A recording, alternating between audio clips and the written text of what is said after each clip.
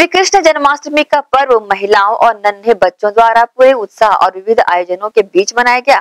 शिक्षिका नीतिका के निवास में आयोजित कार्यक्रम में बड़ी संख्या में महिलाएँ बच्चों के साथ उपस्थित हुई।